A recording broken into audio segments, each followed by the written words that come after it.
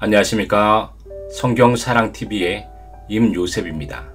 오늘은 성경인물 정리 13번째 시간, 사랑의 선지자 엘리사입니다.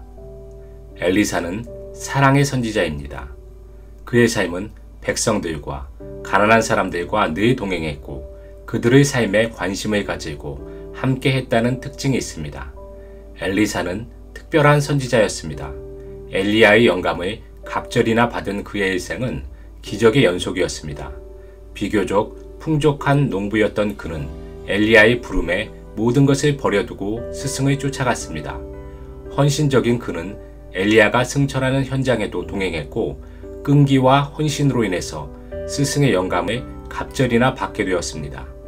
엘리사를 통해서 볼 수 있는 것은 은사는 사모하는 사람에게 임한다는 것입니다. 성경에도 주님을 간절히 찾는 자가 만난다고 하였습니다. 엘리사는 엘리야 때보다도 더 열악한 시대에 하나님의 영광과 백성의 회개를 위하여 갑절의 영감을 하나님께 구하였습니다. 엘리사가 특별한 점은 서민들과 동행하면서 백성의 어려움과 함께했다는 것입니다. 그의 기적의 현장을 보면 평범한 사람을 통해서 이루어진 것들이 참 많았습니다. 빌려온 도끼가 물에 빠지자 나뭇가지를 물에 넣어서 도끼를 떠오르게 합니다. 먹지 못하는 음식을 위하여 가루를 뿌려서 먹게 하는 등 서민들과 동행했다는 것을 알 수 있습니다. 엘리사의 영감으로 인해서 적국은 이스라엘을 감히 넘보지 못했습니다. 왕이 은밀한 곳에서 말하는 것까지도 엘리사가 사전에 인식하고 왕에게 경고하였기 때문입니다. 기도하는 한 사람이 하나의 군대보다도 강하다는 말은 틀린 말이 아닙니다.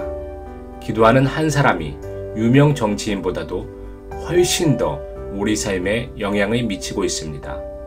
사회가 어려워지고 잘못되는 것은 무엇보다도 그리스도인들이 기도하지 않고 말씀에 순종하지 못했기 때문입니다.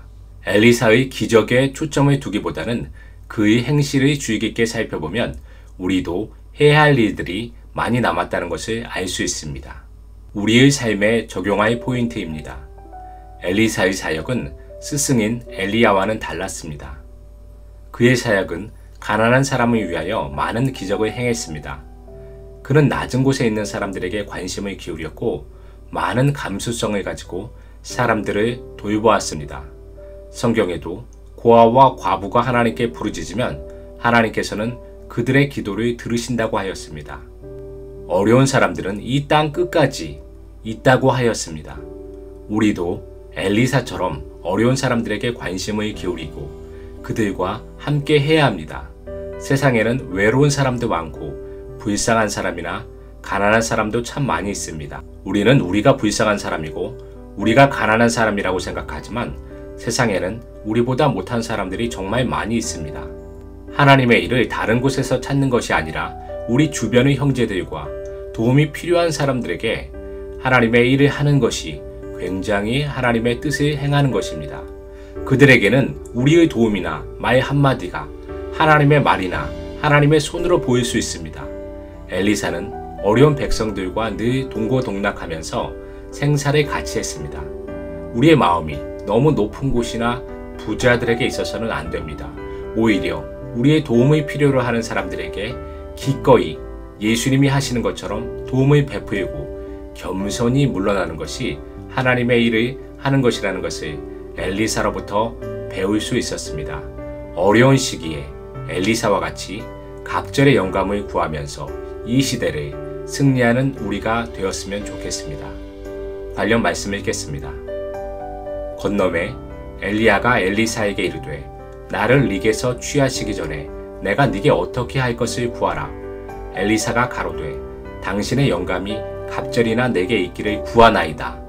가로되 네가 어려운 일을 구하는도다. 그러나 나를 네게서 취하는 것을 네가 보면 그 일이 네게 이루어지려니와 그렇지 않으면 이루어지지 아니하리라 하고 두 사람이 행하며 말하더니 호련히 부일수레와 부일마이들이 두 사람을 격하고 엘리야가 회리바람을 타고 승천하더라.